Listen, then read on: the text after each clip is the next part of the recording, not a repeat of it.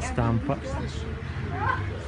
Troviamo Ugo dopo l'annuncio dei pardi. Allora Ugo il pardo d'oro va in Cina Il Pardo cosa d'Oro ne va in pensi di. Mrs. Fang? Mrs. Fang penso che sia un film eh, che difficilmente entrerà nelle sale, è un film sulla morte, su- sulla fine, è un film eh, che ha una sua autorialità molto importante in quanto l'autore è un- uno che va in giro nei festival per vincere e anche qua è venuto per vincere.